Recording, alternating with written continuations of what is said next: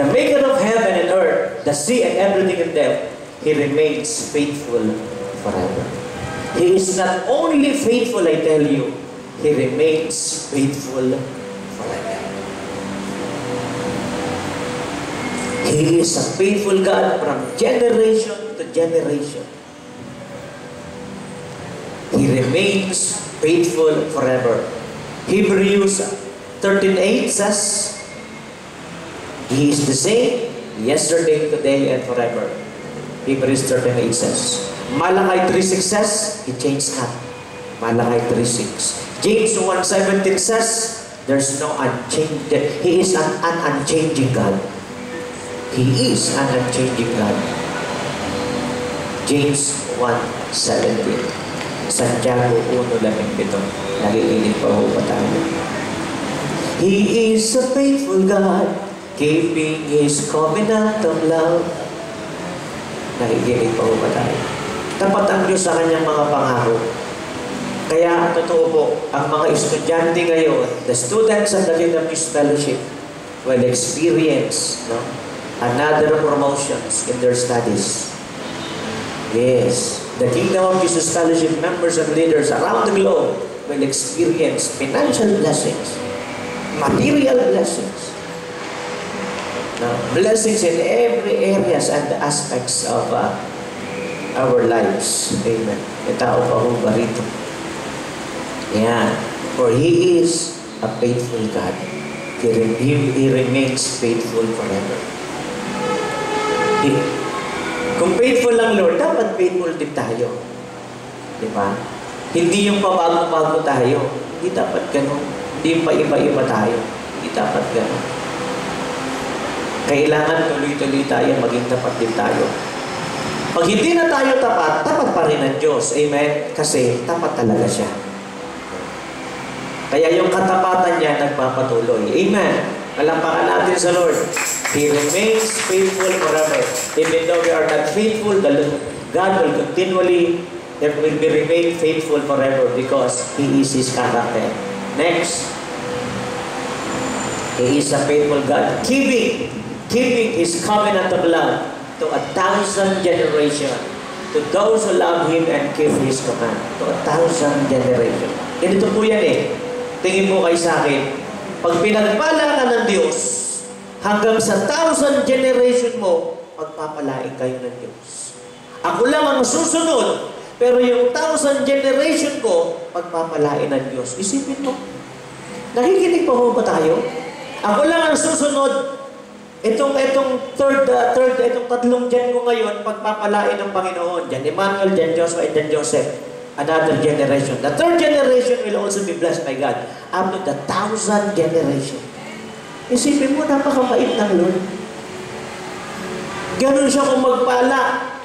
Parang ano, domino effect. Tinulak lang yung nasa harapan, lahat may natumba na. Ganon. Ikaw lang ang susunod. Thousand generation mo pagpapalain ng Diyos yan. Kaya nung sinabi ng mga Israelites, crucify Him, crucify Jesus. And His, and His blood will be on us and, and upon our children. Ayun ang nangyari sa kanila, pati mga anak nila ngayon nagsasuffer. Dahil hinamon nila yung Diyos eh. Nakikinig pa ho pa tayo. Ngunit, bago yun, Hebrews 6.10. Hebrews 6.10. But those who, uh, Hebrews 6.10. Yan, Hebrews 6.10. Yan. Muntik na akong mag-aalin sa iyo, mabuti na lang, magpe-perspose ka, kaya hindi na tuloy ako nag-aalin. God is not unjust. He will not forget your work and the love you have shown Him as you have helped His people and continue to help them. Ito ang pinakadiin, God is not unjust. He will not forget your work and the love you have shown Him. Hindi mo pwedeng lumimot ang Diyos.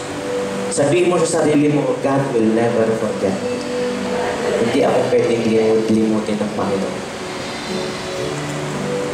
Hindi nakakalimot ang Diyos sa tandaan mo yan. Alam niyo, marami akong pinag-pray noon. Pinagpas ko pa, walang sagot. Pero ngayon, nakikita mo yung mga sagot. Amen. sobra pa sa pinag-pray ko, sobra pa sa pinag-fast ko. Amen! Palakpakan natin si Lord. Hallelujah! Sila naman ang palakpak natin. Kaya, continue to evangelize, continue to serve the living God, continue to give, no, offer our talents to Jesus, no, encourage others to serve God, encourage others to, to, to, to, to give, no, hindi tayo matatalo because God is not unjust. That He will forget the work of love that we have shown Him. Amen po ba? Tatuloy? Sige. Isa na tayo. Next. Nasa na? Anong number na natin? Tapos na po yan. Tapos na po. Verse 5. Ah, number 5, I mean, But those who hate Him will repay to their face by destruction. Ayun. Yung mga hindi maniniwala, hindi magtitiwala, hindi susunod, they will pay, they will be repaid to face to their face by destructions. Exodus 20 verse 3 to 6. You shall have no other gods before me. You shall have no other gods before me.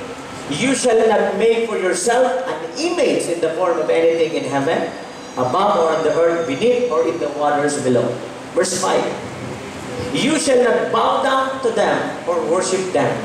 For I, the Lord your God, am a jealous God, punishing the children for the sin of the parents to the third and fourth generation of those who hate me. Pag nagparusa ang Diyos, eto, pag nagkamali ako, yung anak ko, yung apo ko at apo ko sa tuhod, yun lang ang paparusahan, fourth generation lang. Nakikinig pa po ba tayo? Kailan mapuputol yun? Pag nagkamali ako, yung anak ko nagpipit ng landas, putol na yun. Amin po ba? Pero pag hindi nagtuwid ng landas, after the fourth generation, ang parusa. Pero pag ako'y sumunod sa Diyos, after the thousand generation, ang pagpapala. Is God unfair? No. He is not unfair. He will, he will punish only after the fourth generation, but He will bless us after the thousand generations. Ay, hindi mo na mabilang yun. Baka hindi ko na makita yung apo ko sa tuhod. Baka hindi na nga ako magkaapo eh. ah, magkakaano amen daw. May, may nagre-react doon, no amen. Magkakaapo raw. ano kaya ang magiging mukha ng apo ko? Siguro, siguro pag babae ka mukha ni Pastor Ragino, pag lalaki ka mukha ko. Ganon. Kaya tatlo yung anak ko most handsome eh. Walang handsome or handsome, puro tatlo yan most handsome. Ito ako mo rito. Walang pumapayag eh. Kung sino sa kanila yung handsome or more handsome, lahat sila most handsome. Walang pumapayag. Kaya lahat sila most handsome. Tatlo. Kaya ganyan yun eh. Kaya dapat sa mga anak mo, walang favoritism eh. Amen po ba? Yun. Noong nakaraan, ang uh, kadate ko si J.I. Si Apostle J.I. Kahapon naman ang kadate ko si Joseph. May tao ko ba rito? Wala, katabi ko lang siya habang naglalaro sa time zone. Ako nagbabayad. ako nagbabayad. Tapos tapos magutom, kumain kami, ako rin uli nagbayad. Eh, ganun talaga eh. Tatay ka eh. Pag sila na ang nagmitrabaho, ako naman ang pakakainin nila. Amen. At ako pa ba rito? Alampakan natin si Lord. Yeah. But showing love to a thousand generations of those who love me and keep my commandments. Kaya ano ano pong ibig ko tukuyin dito? No, una, kahit naman walang prophecy, marami namang pangako si Lord eh, di ba? Kahit wala namang prophecy, alam mo naman yung mga pangako ni Lord eh. Ang prophecy lang, ang ibig sabihin ng prophecy, ina-updated lang tayo, ina-update lang tayo. Pero kahit na walang prophecy, even without prophecy, no?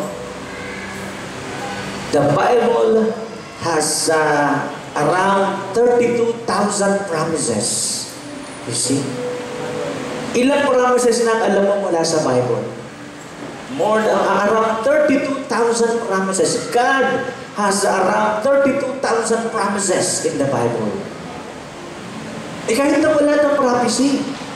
O, yung 32,000 promises na ito, alamin mo lang.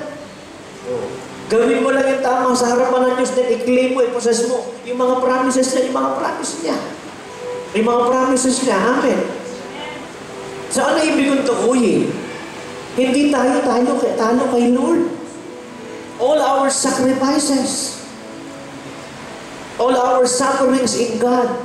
Anong sabi ng Romans 8.17? No? The suffering that we experience right now cannot be compared to the glory that will be revealed. Yung kaluwalhatian na mahahayag sa darating na panahon, hindi makukumpara yan. Nakikinig pa ba tayo? Sabi nga ng asawa ng pastor sa Amerika, patay na siya. Pero nang nababuhay sabi niya, nung dumating na yung blessing ng Panginoon, lahat ng suffering namin nabura na. Aaminin ko nung unang panahon, yun ang panahon ng punong-puno ng pagtitiis. Pero ngayon ang panahon ng pagtanggap ng continuous blessings. Amen?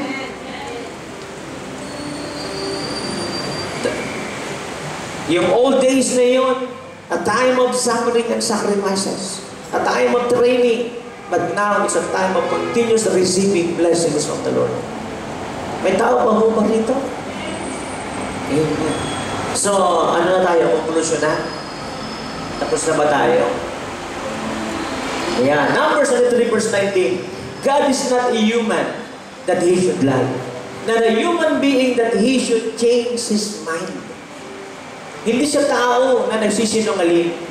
Hindi siya tao na mabago-bago ng isip. God is not man or human that He should lie.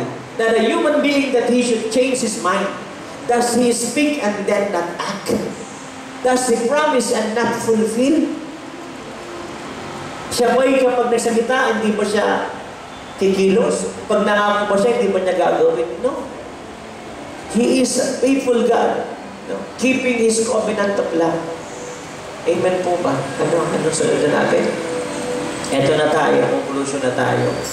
So let us obey God. Amen. Sumunod tayo sa Diyos. Because God will surely reward us. He is a true God and He is a faithful God. And He is faithful to all His promises. Amen po ba? Lang, amen. Sige, kopyahin nyo na muna. Amen. Oh,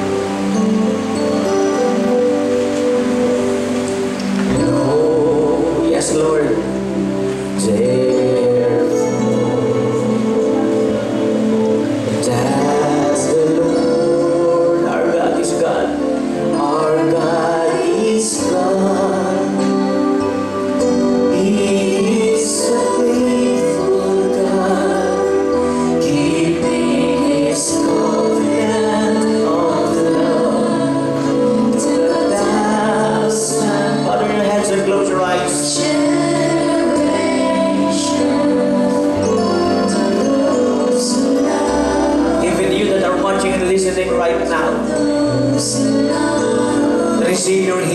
Now. Your complete healing, I tell you. You receive your miracle now, your complete miracle, I tell you. Receive more grace from the Lord and more favor from God. Receive God, God answers to all your prayers. Yes. Therefore, yes. Surely you and your family will be saved and will serve the Lord.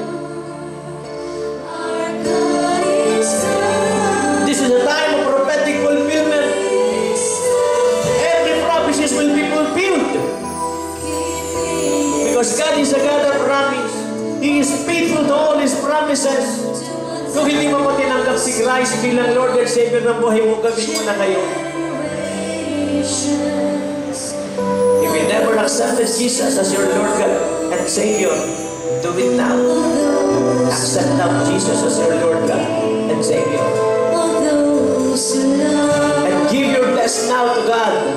Encourage others to, to, to give their best also to Jesus.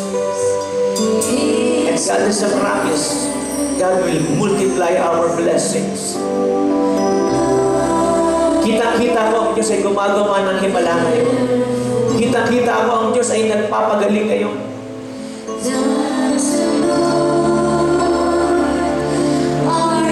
Ang problema kasi natin, pag anniversary, ang sipag-sipag natin, nagdadalaw, naglilingkod, naglilingkod, ang sipag-sipag natin nasususundo.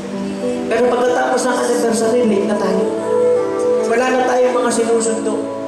Wala na tayong pinagkasakripisyohan. And that is wrong. Yun ang ayaw na ayaw ng Lord. Kaya hindi natin natatamo ang mga pagpapala. Marami hindi nakakatamo ng pagpapala. At maraming mga pagpapala, sana ang mas malalaki pagdarating hindi nangyayari. Sapagat ang marami ibang anniversary lamang. Nandoon lamang ang init at apoy pagdating ng anniversary, pero pagkatapos ng anniversary, nawawala ng apoy. I am more excited than last anniversary today than, than last anniversary. Because the anniversary is over. And I'm looking forward to another more great anniversary. Past is past. Let us just enjoy the blessings of the past. But we must look forward to what God is about to do. More souls to Jesus. Encourage others to serve God. And uh, encourage others to serve the Lord. Encourage others to, to give. Because God is a God who keeps His covenant of love for all of us and to our thousand generations. Sa oras na ito, ibigay natin ng mas malalim ang ating commitment sa Panginoon. Come on. And pray and fast.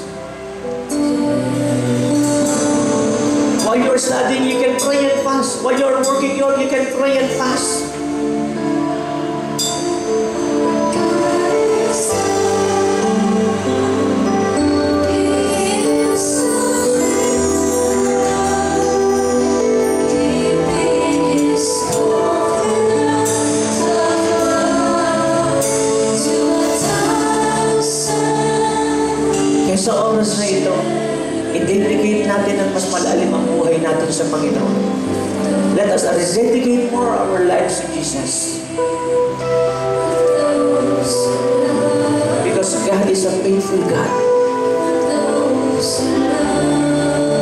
Is a faithful God. He is true to His promises and He will be true and faithful to all His promises.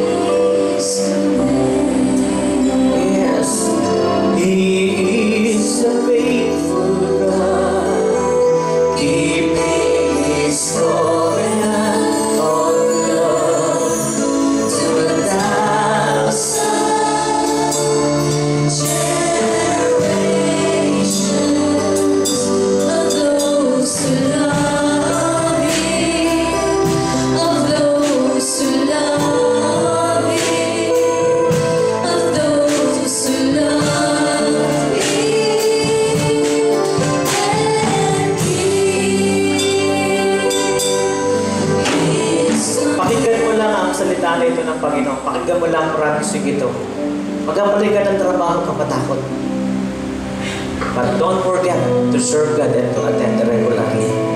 Put up more businesses. You will never be defeated. This is a time for you to expand and to grow and to have more branches, I tell you. In every competition in your school, join and fight, and you will win, I tell you. Because this is a time of favor. This is the year of jubilee for us, I tell you. Believe in the prophets and God, and you shall establish. Lumapang ka. Sumali ka. And give all the glory to God. Share them the, love, the, the love of Christ. Sabihin mo sa kanila, kasi kristyano ako, maging kristyano ka na rin. Dumadala ko, sumama ka, dumalungan na rin sa akin. Naglilingkod, sumama ka na rin sa akin.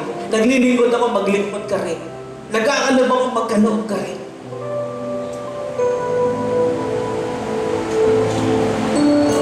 Huwag tayong nakikinig lang na ang marami tinataas ng Diyos. Ang marami yung mayamang pinapagpalat na nananagana tayo na nanatiling sa, sa ganyang kalagayan. Hindi yun kalooban ng Lord. Napakahirap ni Abraham nang siya umalis ng Mesopotamia. But he died very wealthy. Dumating ang kahirapan sa buhay ni Isaac, Genesis 26. Pero siya'y nagtanim, he planted. And he reaped. On that year, the Bible says, he was very wealthy. His wealth increases more. Paano kang mananalo kung hindi ka lalaban? Paano kang tataas kung hindi ka magmahanga rin yung mga pag-ibagay?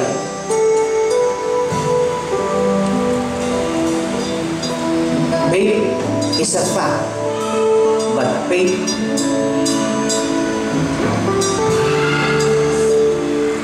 without without act is dead.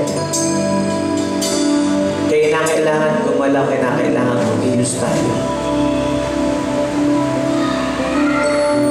Kaya sa oras na ito, sabihin mo sa Panginoon, God will be the first priority of your life. Para sa mga ginagabi kong umuwi, para sa kumaaga mga dumarating, hindi kayo talo tandaan mo. Kayo ng Diyos ang buong buo eh. Katotoo lang. Kasi panawagan sa inyo ng, ng Diyos ang buong buo, binubuo din niya ang mga pagpapalaan ninyo sa totoo lang.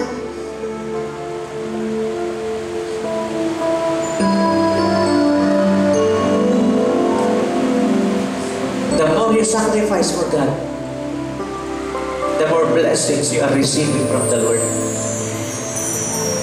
Yes,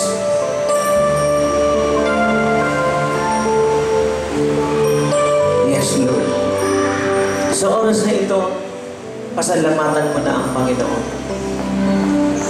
Pasalamatan mo na ang Diyos. Thank God for the healing. Thank God for the miracle. Thank God for the success and thank God for the victory. At sa oras na ito, God is giving you His mind upang makapag-isip ka ng maayos. Hindi ka makapag-focus, hindi ka makapag-ipaisip ng maayos. Hindi mo talaga maintindihan, hindi mo talaga maunawaan kung ano ang tama, mainam mo, anong perfectong will ni Lord. But this time, hallelujah, the Holy Spirit is quickening your mind. Beginning this day, you will understand the will of God. And you will do the will of God. And you will fulfill the will of God. The will of God. And you will finish the will of God. Kurarabashiribishanda. May mga ilang babae na ang nakikita na nandito ngayon. You are seeking the face of God. Paano mo nalaman lingkod ng Diyos? Binulong sa akin kayo ng Panginoon. Ilang mga babae nasa kanan mo, Hinahanap mo ng malalim ang here for purpose. And He will continually reveal yourself unto you. At yung mga ginagawa ko at gagawin ko pa, yung mga nakikita mo sa akin ay gagawin mo rin.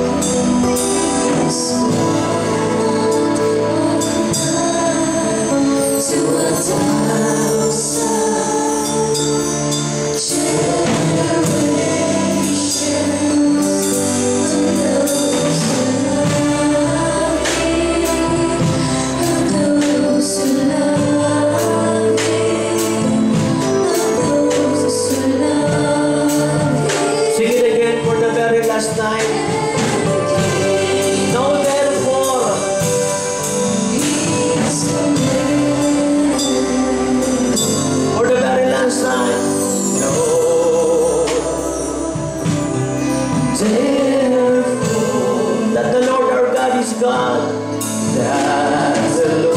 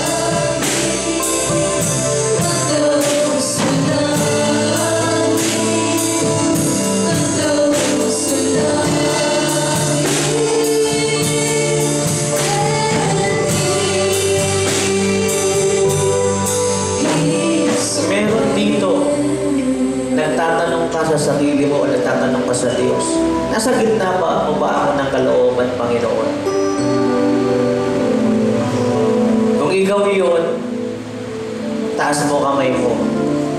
No? Somebody is asking the Lord, God, am I in the center of your will? And if you are that person, lift up your hands to the Lord. Sige, huwag kang matakot, huwag kang mahiya. Lord, am I in the center of your will? Meron kang, basta hinahanap, you need confirmation. Am I in the center of your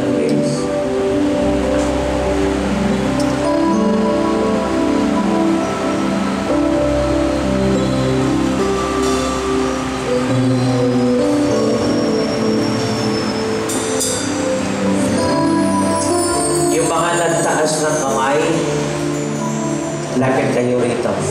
Sige, and you will receive a prophecy. Come on.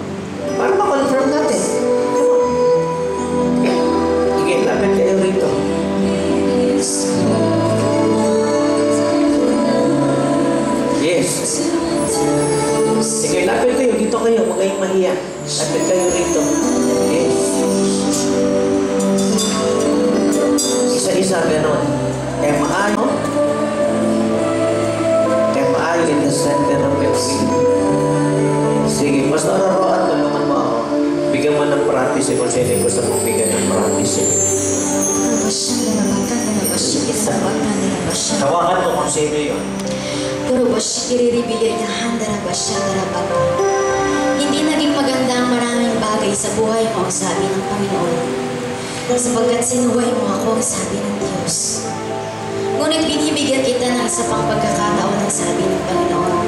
Sapagkat ang nais ko'y bumalik ka sa akin, ang sabi ng Panginoon.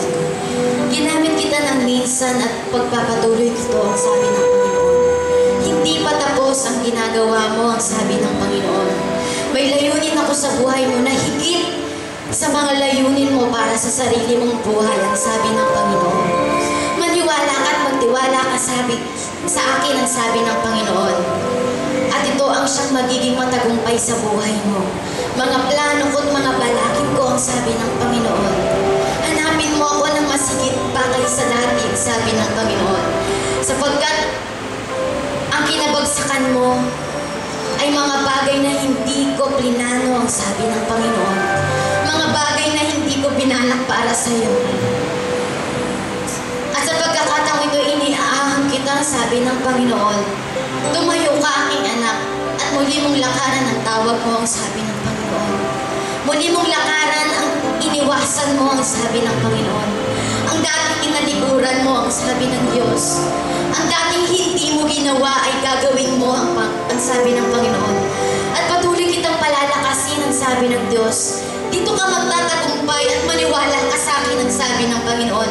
Sapagkat sa bagay na gagawin mong ito, dito mo ako kasama ang sabi ng Panginoon. Sa mga bagay na ginawa mo noon ay hindi kita sinamahan ang sabi ng Diyos. Sapagkat hindi ito ang layunin ko sa buhay mo. Sa oras na ito, itinatayo kita na mas matatag ang sabi ng Panginoon. Itinatayo kita sa pamamagitan ng aking mga kamay at mga paa ko ang tatayo para sa iyo ang sabi ng Diyos. Mas matatag kaysa dati ang sabi ng Panginoon. At sa oras na ito, sinasabi ko sa iyo, tumayo ka sa iyong mga paa na gamit ang aking mga paa ang sabi ng Panginoon. Sapagkat sinasamahan kita, magtatagumpay ka sabi ng Panginoon. Yes, Lord. Yes, Lord. Yes, Jesus. Mura mashiri ang dalang siya.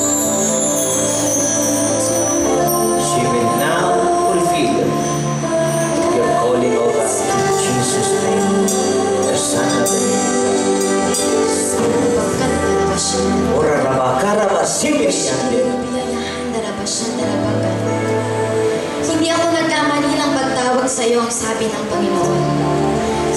Nasa isip lamang ang mga negatibong bagay ang sabi ng Diyos. Ngunit ang mga bagay na nais ko sa buhay mo ay pawang mga positibo ang sabi ng Panginoon. Sapagkat tinawag kita upang itayo ang maraming tao ang sabi ng Panginoon. Huwag mong ilagay sa iyong isip ang mga hindi dapat ang sabi ng Panginoon. Ang mga negatibo at pagdududa, ang mga pag-aalinlangan, at ang pagsasabing Panginoon. Alisin mo ang lahat ng iyan ang sabi ng Diyos. Sapagkat ako ang naglalagay sa iyo ng talino. Ako ang naglalagay sa iyo ng kaalaman. At ako ang naglalagay sa mga labi mo ng mga salitang bibitawan mo sa mga taong makakaharap ko ang sabi ng Panginoon. Inilalagay kita sa harapan ng sabi ng Diyos. Huwag kang pumunta sa likuran ng sabi ng Panginoon. Sapagkat ang pagtawag ko sa iyo hindi ordinaryong pagtawag ang sabi ng Panginoon. Isa kang malakas na babae ang sabi ng Panginoon. Kaya huwag kang panghinaan ang sabi ng Panginoon. Ilagay mo sa iyong puso ang matinding pag-ibig sa maraming kaluluwang sabi ng Panginoon. Tinatawag kita para sa mga taong ito ang sabi ng Panginoon. At muli inilalagay ko ito na mas matindi sa iyo ang sabi ng Panginoon. Hindi lamang sa iyong buhay, kundi sa buong pagkatao mo ang sabi ng Panginoon. Ano man ang lalakaran mo at saan ka man pupunta ang sabi ng Panginoon. Ibubukas mo ang iyong mga labi sabi ng Panginoon at hindi ka mapipigilan ang sabi ng Panginoon. Huwag kang mag-alinlangan ang sabi ng Diyos sapagkat ako ang Diyos na gumaganap sa buhay mo ang sabi ng Panginoon. Alisin mo ang lahat ng bagay na hahadlang at inalis ko na ang lahat ng ito. Huwag mong ilagay itong muli ang sabi ng Panginoon sapagkat ito'y winasa ko na ang sabi ng Panginoon. Ang lahat ng ito inalis ko na sa iyong harapan upang walang maghihadlang sa iyong paglakad ng mabilis ang sabi ng Panginoon. Tumakbo ka aking anak ang sabi ng Diyos sapagkat huli na ang lahat ang sabi ng Panginoon. Ang mga nakaraang panahon ay nasayang ang sabi ng Diyos. Kaya naman sa mga oras na ito, gawin mo ito ng mas mabilis ang sabi ng Panginoon. Minsan, kinakailangan lang ulitin uli sa atin ng Diyos eh. Kung yung ano na yung dati niya nang sinabi sa atin, kung pang this time ay gawin natin yung pinapagawa ng Lord na higit pa kaysa dati. Yes, Lord. Oo, gagawin niyo po ito, Ama. Nang higit pa ho sa dati at sasamahan mo siya, Panginoon, nang higit pa ho kaysa dati. Ang pagkatagumpay ay patuloy na mararanasan at higit pa ho sa dati. Oh God, ora mashini niya sa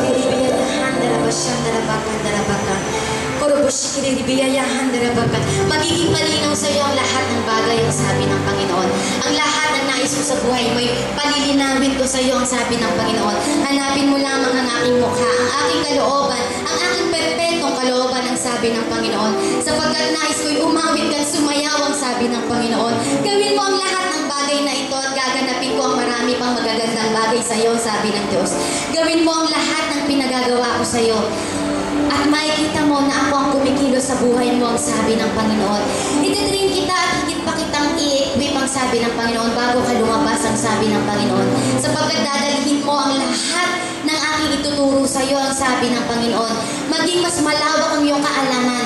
Maging mas malawak ang iyong isip ang sabi ng Panginoon. At magiging mas malawak ang iyong puso ang sabi ng Panginoon sa iyong paglabas ang sabi ng Diyos. Kung ikaw ay magpapailalim sa aking pagtuturo at pagtutubig ang sabi ng Panginoon. Kaya humawak ka aking anak ang sabi ng Panginoon. Hawakan mo ang lahat ng bagay na gagawin ko sa buhay mo. At patuloy lamang na tingnan mo ang aking gagawin ang sabi ng Panginoon. Sapagkat sa mga gagawin ko doon mo makikita kung sino ka sa aking harapan ang sabi ng Diyos na buhay. Muli nilalagay ko sa iyo ang kapangyarihan ko ang sabi ng Panginoon. Inaalis ko ang takot, inaalis ko ang pagdududa, inaalis ko ang lahat ng negatibong bagay sa iyong puso o sa iyong kaisipan ang sabi ng Panginoon. Tumayo ka sa iyong mga paarang ang sabi ng Panginoon at patuloy mo itong lakaran ang sabi ng Diyos sa buhay. Gawin mo ang pag-awit at pagsayaw ang sabi ng Panginoon. At hindi maglalaon ay gagawin ko ang mas magandang bagay pa sa iyong buhay ang sabi ng Panginoon. Minsan, ginagawa natin priority ng ating buhay ang pag-aaral, pagkatrabaho, pag-negosyo. And that is wrong. Minsan, iniiwanan natin yung ministry natin. Mas gusto nating makibang bansa kaysa yung at iwanan yung ministry. And that is wrong. Very, very wrong. Kaya nasa Pilipinas, kaya nasa ibang bansa, dapat priority ang Diyos higit sa pag-aaral, trabaho, at negosyo. At dapat, maging sa paglabas natin ng ibang bansa, kung yung ginagawa natin dito, gagawin din natin doon. Kasi marami nang nakibang bansa ngayon. Ay, nako. Lang, problema, pagsubok, laban ng buhay, pagtitiis, lungkot ang nararanasan. Kasi yung calling nila sa Pilipinas, hindi nila ginawang priority. Kaya pagdating nila ng ibang bansa, hindi nila ito priority. Kaya paulit-ulit na sinasabi sa atin ng Lord, huwag tayong masasaktan dito, direktahan na po ito. Gawin natin priority ng, ng, ng buhay natin si Lord. Huwag natin iwanan yung tawag, calling, yung ministeryo natin. Mararanasan lang natin yung dipit upon dipit sa buhay natin kapag inuna natin ang pag-aaral, trabaho, negosyo, at pangingibang bansa. Eh kung tayo ay hindi aalis sa ministeryo, paglipad natin ng ibang bansa, lalo pa natin pagbubutihin, eh, may, mayaman tayo, patuloy tayong napakayaman. Kita mo yung mga nangingibang bansa, wag namang magagalit. Hindi naman lumalaki yung offering nila, lumiliit pa nga eh. Puro na lang hirap, sakripisyo, pagod, may isang na wala, walang paglilingkod sa Diyos, puro FB lang, puro Skype lang. Wala nangyayari. No? Walang naitata yung iglesia. Why? Dahil nga hindi priority ang Panginoon. Kaya sa oras na ito, gagawin nating priority Yes, Lord. Is, sinasabi ko, ang mga pangako ng Diyos ay totoo. Mangyayari at mangyayari yan. Pero ang tanong, yun nga lagi ang tanong eh, tayo ba gagampanan natin yung tawag natin? At kapag hindi natin nagampanan, doon natin makikita naman ang parusa ng Diyos. Tandaan natin yan. Kaya sa oras na ito, we will make our God the priority of our lives. Lalabas ka ng ibang bansa, pupunta ka ng Australia at Canada, eh dito sa Pilipinas, eh, iniwanan mo pangangaral mo, eh, iniwanan mo pag-amit mo, iniwanan mo pagturo mo. Eh, anong gagawin mo sa Australia? Anong gagawin mo ron? Wala ka naman, wala kang ministeryo.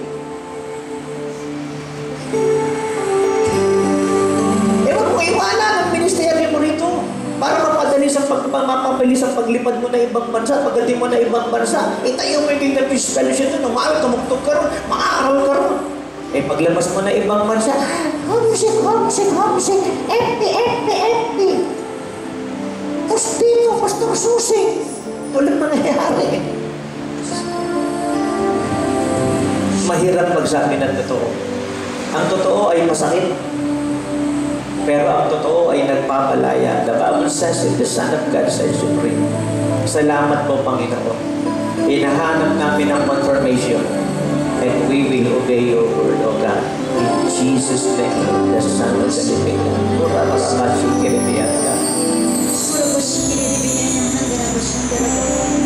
Go back to your first love, Sister Lord.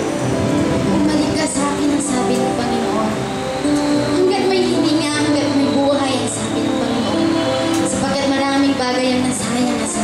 Diyos.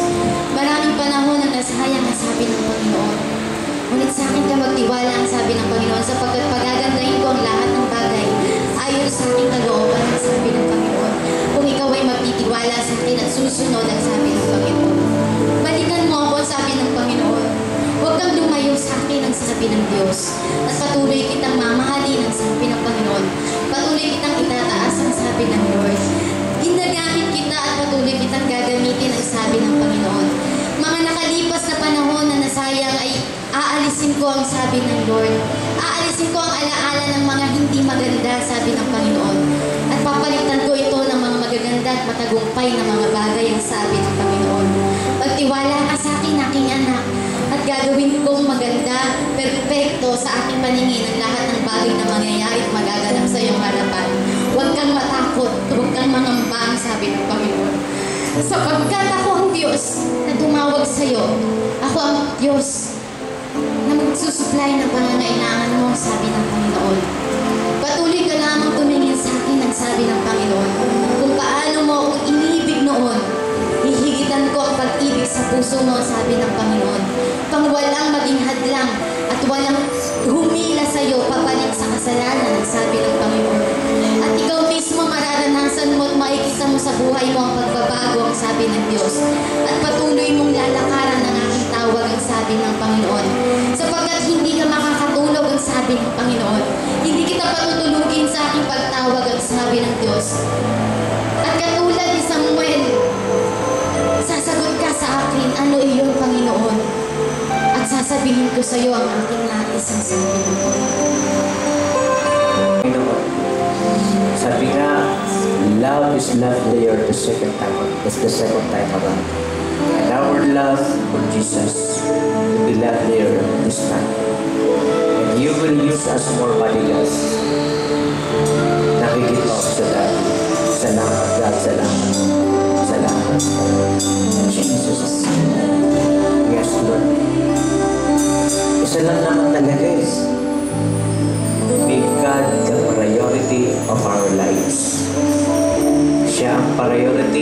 Sa pag-aaral, higit sa trabaho, higit sa pagkakaroon ng kasintahan, higit sa pag-aasawa.